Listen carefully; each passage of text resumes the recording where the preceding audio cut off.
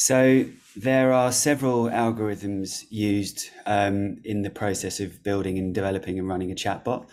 Um, so the first thing you need to do is if your uh, if your chatbot is voice enabled, you need to understand natural language uh, speech and convert that to text. So the speech recognition is the first step in that in the process. The second thing, the second stage in the process is then taking that um, and applying natural language processing, which is a separate set of algorithms that is designed, you know, firstly to interpret the intent, uh, i.e., the reason why the the customer is contacting, and then secondly to extract useful pieces of information from the conversation often called entities. So these could be things like names postcodes addresses you know anything that's useful to driving the conversation forward into into achieving the outcome.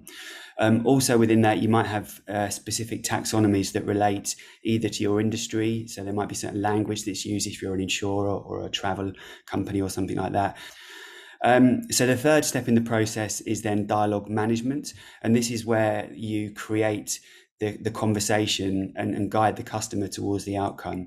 So this is, this is where you design the questions that you're going to ask and the responses that you give back to a certain question.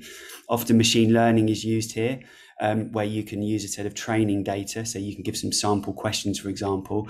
The machine learning algorithms can then use that as a basis to understand the many, many hundreds or thousands of different ways that somebody could ask a question without you having to pre program every single one of those steps.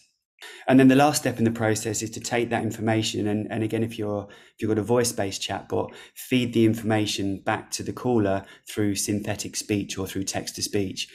And again, increasingly, we see machine learning used here to create much more natural, uh, much more natural sounding voices to play back to a customer that pick up on different ways of, you know, of uh, intonation, different ways of expressing voice, etc., different ways of finishing the sentence off to make it sound as natural as possible. So that's just an example of some of the algorithms used in a in a typical voice or chatbot.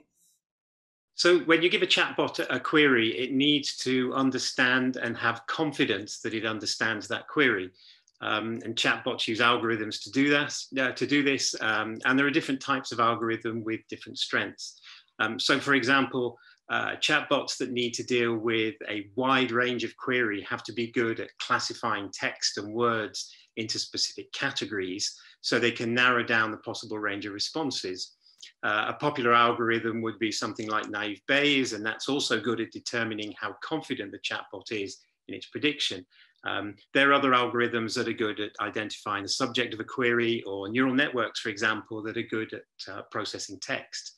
Um, natural language processing is absolutely key for chatbots because it determines how the bot uh, understands and interprets words, but it also aims to learn, um, you know, the intricacies of human language, including, you know, grammar, sentiment, intent, and so on. So I, I guess when you implement a chatbot, you need to be very clear on its purpose um, and that way you can choose one that uses the most, uh, most suitable type of algorithm.